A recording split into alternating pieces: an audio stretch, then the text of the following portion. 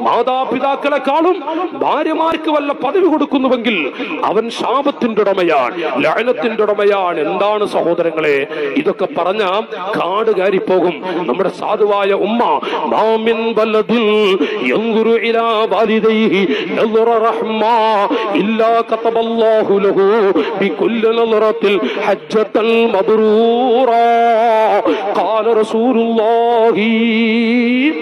ആർക്കും തർക്കല്ല. ഇവിടെ ഒരു മതത്തിൽപ്പെട്ടവർക്ക് മറ്റു മതത്തിലെ നേതാക്കളെ കുറിച്ച് അഭിപ്രായ വ്യത്യാസം വരും. അങ്ങോട്ടും ഇങ്ങോട്ടൊക്കെ പറയും. നമ്മുടെ ഉമ്മ ഞാൻ ഈ പ്രസംഗിക്കുന്നവർ എന്റെ ഉമ്മ എന്റെ ഉപ്പ. അവരെ കുറിച്ചുള്ള മഹത്വം റസൂലുള്ള പറയുന്നു. എനിക്കെന്റെ ഉമ്മ ഉപ്പ മുത്തുകൾ തന്നെ ഈ ഇരിക്കുന്ന ഉസ്താദുമാർക്കൊക്കെ അവരുടെ അവരുടെ ഉപ്പ ഉമ്മ അത് മുത്തുകളാണ്. ഈ ഇരിക്കുന്ന നിങ്ങൾക്കൊക്കെ യുവാക്കളെ ഒന്ന് കേട്ടോളൂ. തോഹ റസൂലുള്ള. ആർക്കാ തർക്കമുള്ളത്? നബിത്തങ്ങളാണ് പറയുന്നത് സ്വഹാബികളെ.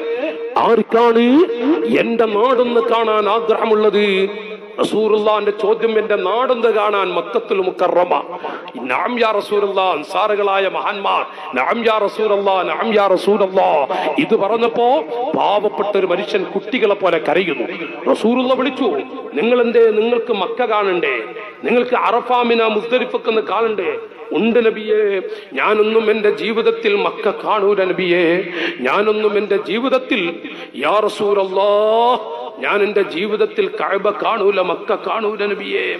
കാരണം പോകാൻ എന്റെ കാരിക്കാണ് കഅബ. സഹോദരങ്ങളെ എന്താണിത് അന്താരാഷ്ട്ര കാര്യമല്ല ഈ പറയുന്നത്? ഇത് അന്താരാഷ്ട്ര കാര്യമല്ല.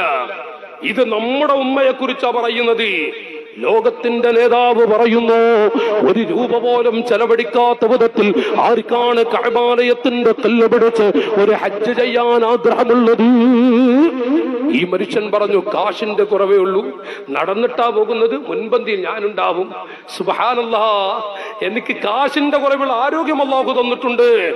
ആ സമയത്താണ് നബിത്തങ്ങൾ പറയുന്നത് മാമിൽ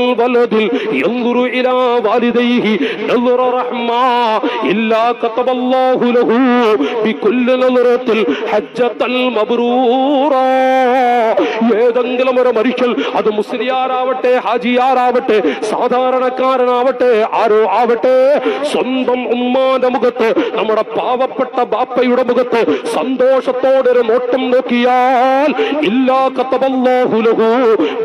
നظറത്തിൽ ഹജ്ജത്തൽ കല്ല് പിടിച്ച് ഒരു ഹജ്ജ് ചെയ്ത പ്രതിഫലമാണ് എന്താ മുസ്ലിമീങ്ങളെ? ലോകത്താർക്കാ അഭിപ്രായ വ്യത്യാസമുള്ളത്? ഞാൻ എന്റെ ഉമ്മയുടെ മുഖത്ത് സന്തോഷത്തോടെ ഉമ്മ എന്ന് വിളിച്ച് ഒന്ന് റാഹത്തുക്കുള്ള വാക്ക് പറഞ്ഞാൽ എനിക്കൊരു ഹജ്ജ് അതും മബറൂറായ ഹജ്ജ്.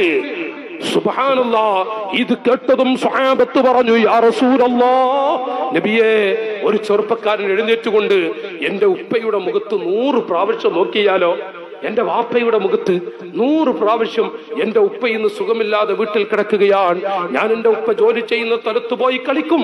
എന്റെ ഉപ്പാക്ക് ഒരു പിടി ഭക്ഷണം കിട്ടിയാൽ എന്റെ വാപ്പ എന്നെ വിളിച്ച് എന്റെ വയറ് നിറ നിറയുന്നതിനെ ഭക്ഷിപ്പിക്കും. മതി ഉപ്പ എന്ന് പറഞ്ഞാൽ മതിയുപ്പ എന്ന് പറഞ്ഞാൽ ഒരു പിടിയും കൂടടാ എന്ന് പറഞ്ഞ വാപ്പന്റെ വായിലേക്ക് വെച്ചു തരും. എന്നിട്ട് ഞാൻ കടിച്ചതിന്റെ ബാക്കിയാണ് എന്റെ ഉപ്പ കടിക്കാറുള്ളത്. ആ ഉപ്പ ഇന്ന് സുഖമില്ലാതെ വീട്ടിൽ കിടക്കുന്നു. ജമാഅത്തിന് പോലും പറ്റാ പോകാൻ പറ്റാത്ത വിധത്തിൽ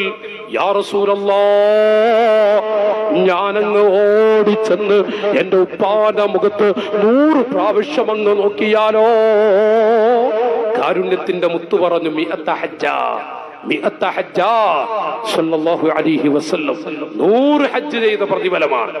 മാതാപിതാക്കളുടെ മുഖത്ത് മുസ്ലിമീങ്ങളെ നൂറ് വട്ടം നോക്കിയാൽ നൂറ് ഹജ്ജ് അതും സാധാരണ ഹജ്ജല്ല മബറൂറായ ഹജ്ജ്. ഒരു ഉമ്മ പ്രസവിച്ച കുഞ്ഞിനെ പോലെ മൂന്ന് മൂന്നര ലക്ഷം മുടക്കിയിട്ട് ഹജ്ജ് കഴിഞ്ഞു വന്നാലും ഒരു മബറൂറായ ഹജ്ജ് ചെയ്തു എന്ന് പറയാൻ പിടുത്തല്ല ഉറപ്പില്ല. എന്നാൽ യുവാക്കളെ നമ്മുടെ മാതാപിതാക്കളുടെ മുഖത്ത് ഒരു നോട്ടം നോക്കി നൂറുവട്ടം നോക്കിയാൽ നൂറ് ഹജ്ജ് ചെയ്ത പ്രതിഫലം അവരത്ര മോശപ്പെട്ടവരാണെങ്കിലും അവരത്ര മോശപ്പെട്ടവരാണെങ്കിലും ലോകത്ത് കോടിക്കണക്കിന് ഡോളർ കൊടുത്താലും കോടിക്കണക്കിന് ഡോളർ കൊടുത്താലും കിട്ടാത്ത രണ്ടേ രണ്ട് മുത്തുകൾ അള്ളാഹു ലോകത്ത് പടച്ചിട്ടുണ്ട്. ഒന്ന് നമ്മുടെ ഉമ്മയാണ് രണ്ടാമത്തെ മുത്ത് നമ്മുടെ ഉപ്പയുമാണ്. അള്ളാഹു ആ മുഖം സ്വർഗത്തിലും കാണാൻ ഭാഗ്യം നൽകട്ടെ. മാതാപിതാക്കളെ സ്വർഗത്തിലും നടച്ചുകൂട്ടാൻ ഭാഗ്യം നൽകുമാറാവട്ടെ. സഹോദരങ്ങളെ ഇതിലൊന്ന് രണ്ടഭിപ്രായം പറയാനില്ല. നമ്മുടെ ഉമ്മ നമ്മുടെ ഉപ്പ. വയസ്സായ ഉപ്പ പ്രായാധിക്യം കൊണ്ട് തൊലിയൊക്കെ ചുളിഞ്ഞപ്പോ മോനെ എടാ നിന്റെ ഉപ്പാക്ക് തന്നെ നിനക്കൊരു വിലയില്ലല്ലേ? ആ വാപ്പ ഒന്ന് പോയി നോക്കട്ടെ. ഉപ്പാക്ക് പകരം ഒരു ഉപ്പയെ കിട്ടാൻ പ്രയാസമാണ്. അതുകൊണ്ട് തന്നെ എന്ത് കൊടുത്താലും കിട്ടാത്ത ബദൽ കിട്ടാത്ത രണ്ട് മുത്തുകളാണ് ഉമ്മ ഉപ്പ. ചില ആളുകളൊക്കെ ഉണ്ട്. കല്യാണം അങ്ങ് കഴിഞ്ഞ പിന്നെ എന്തോ മാതാപിതാക്കളെ മാറ്റി വെച്ച് പിന്നെ പെണ്ണെന്താ പറയുന്നത്? അള്ളാഹു താല കാക്കട്ടെ.